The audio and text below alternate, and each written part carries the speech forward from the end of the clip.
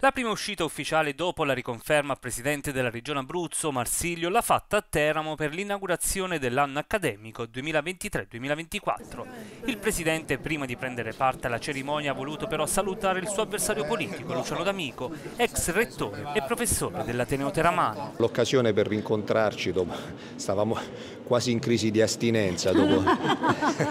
dopo le ore e ore passate insieme dentro gli studi televisivi, ci ritroviamo sul campo. Marsilio ha anche parlato del risultato elettorale di Teramo dove D'Amico, anche se di poco, è stato il più votato, dato in controtendenza rispetto alle altre province abruzzesi. È uno stimolo in più a lavorare ancora meglio, a dimostrare che il lavoro che stiamo facendo anche come regione per Teramo è un lavoro efficace,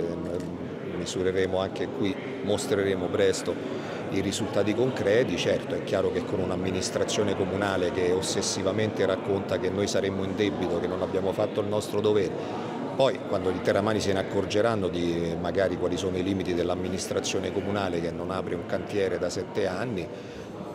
se ne discuterà, però è anche autocriticamente un problema della classe dirigente teramana del centrodestra che non è stata ancora in grado di far emergere questi limiti e di saper proporre una proposta politico-amministrativa alternativa, credibile e autorevole. Presente all'evento anche il ministro dell'Ambiente e della Sicurezza Energetica Fratin, che ha parlato dell'importanza del nuovo corso di laurea in diritto dell'ambiente e dell'energia distintivo per essere l'unico nel suo genere in Italia. L'opportunità anche di,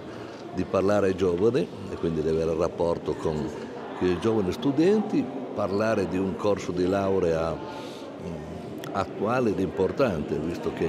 non solo per ragioni di delega lo dico, ma per la, perché è la realtà che stiamo vivendo, la necessità di avere gente preparata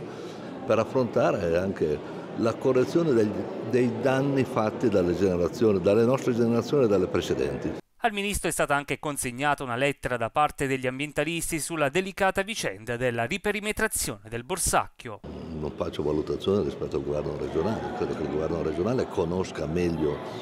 eh, di tutti, certamente di me che sono a Roma, quelle che sono le condizioni e le necessità. Poi su quelle saranno le valutazioni, anche perché io queste valutazioni le faccio anche a seguito di, di valutazioni che ISPRA mi dà. Per il rettore Dino Mastrocola tanta emozione per il suo ultimo anno alla guida dell'Ateneo Teramano. Tanta soddisfazione anche per il percorso che abbiamo fatto insieme con tutti i colleghi, tutto il personale, soprattutto tutti gli studenti di questa, di questa università e adesso vivremo intensamente come abbiamo fatto per i cinque anni precedenti anche gli ultimi mesi del mandato.